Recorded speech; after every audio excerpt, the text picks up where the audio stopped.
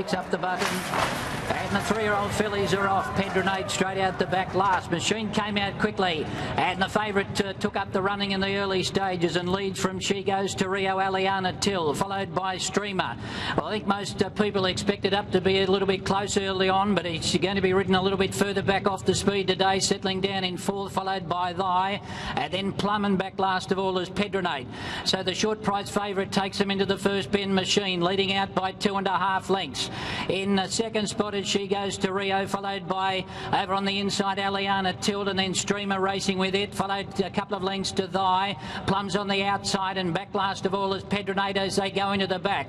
So Nikolic has taken the initiative early here and Mosheen rolling along in front. Unchallenged leads by a couple of lengths on She Goes to Rio. Streamer in third spot, a length and a half away, a half Aliana Tilt on the inside.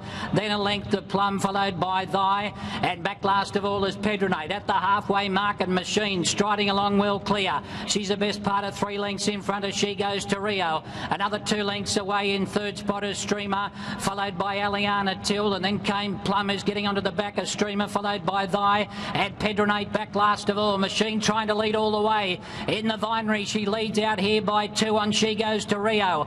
Streamer is third, giving the leader about three. And Nikolic now Click Mosheen up and she strode even further ahead. Coming to the 600, she raced away. She's three or four lengths in front. She goes to Rio second, Streamer third. And then came Aliana Till, Plum Nye, and Pedronate back last of all, but into the straight Mosheen, who's looking for three Group 1s in a row. Uh, she's about six lengths in front as she goes to Rio. Streamer back in third spot. Then Aliana Till, but Mosheen's well clear as they draw to the 200. She's in a different postcode to the rest. She's about three lengths on Streamer, who's trying to close in late, but Mosheen is well clear. She's starting to put in a few short ones, but she's got a a big enough break. Oh, he sits up late. Streamer's diving, but Mosheen just got there. Wins it by about a long neck on Streamer, who challenged late. Aliana Till third.